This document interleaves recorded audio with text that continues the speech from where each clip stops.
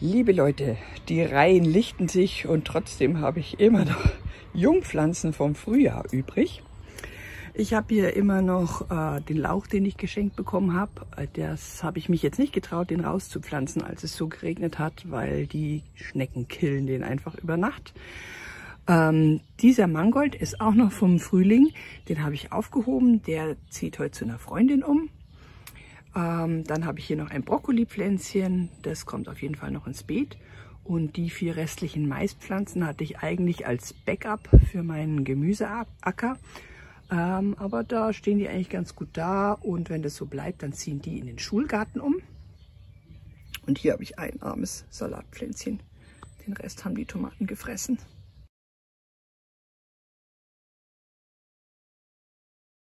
Dann hier in diesem Topf und in diesem Topf habe ich Ingwerknollen eingepflanzt und ins Gewächshaus gestellt. Mal gucken, ob die jetzt dann keimen.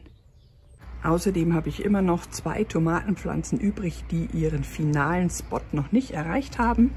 Aber die dürften nächste Woche dann umziehen zu ihren neuen Besitzern.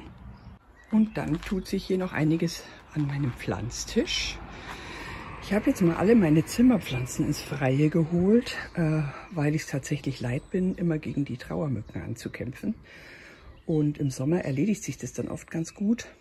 Und dann erledigt sich auch die Lage oder entspannt sich die Lage in der Wohnung mit den Trauermücken, bevor ich dann wieder neue Jungpflanzen anziehe und die kleinen Mistviecher wiederkommen. genau, also deswegen verschiedene Grünlilien sind jetzt draußen. Dann äh, hier sind noch Grünlilienableger übrig, die brauche ich nicht mehr, die werde ich verschenken. Außerdem habe ich hier so Erbsenpflänzchen vermehrt. Mal gucken, da habe ich mir tatsächlich die Mutterpflanze neu gekauft. Also ich kaufe eigentlich nie Zimmerpflanzen, aber mir sind fast alle eingegangen wegen den Trauermücken. Und äh, genau, ich zeige euch mal kurz die Mama-Pflanze. Die hängt jetzt hier im Schatten und ich hoffe, dass sie sich da ein bisschen erholt von ihrer Zeit drinnen. Also da sind auch sofort die Trauermücken dran gegangen. Hier unten sind auch noch ein paar verschiedene Grünlilien, Erbsenpflanzen. Und hier drunter, sehr, sehr wichtig, eine äh, Erdnusspflanze.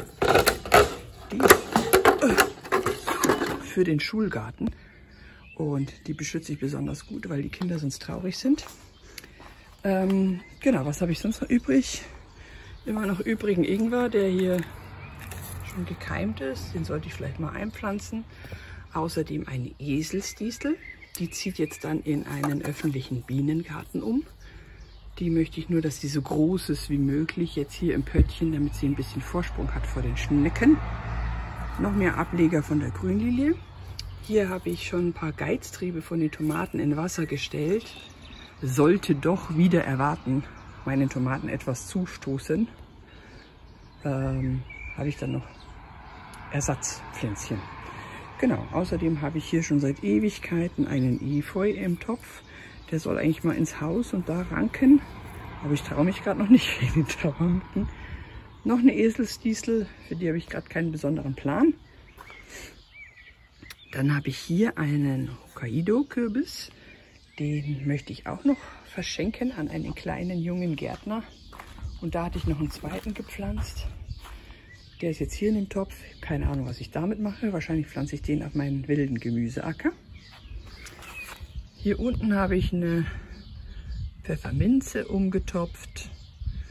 Ähm, das ist so eine gekaufte gewesen im Laden.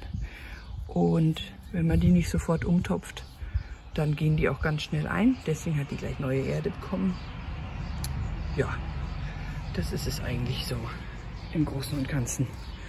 Äh, man kann ja um diese Jahreszeit einfach äh, noch weiter ansehen, ähm, vor, vorziehen.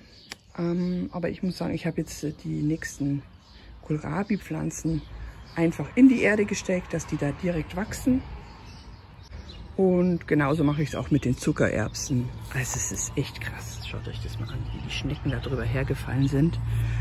Aber wir konnten trotzdem noch viele ernten und die neuen Samen habe ich einfach hier an den Rand und dazwischen reingesteckt und dann wachsen noch mal welche nach. Wie schaut es bei euch aus? Was habt ihr noch an Jungpflanzen übrig? Lasst mich doch mal wissen, wie es bei euch ausschaut mit den Jungpflanzen. Dabei sende ich euch liebe Grüße aus dem Naturstübchen.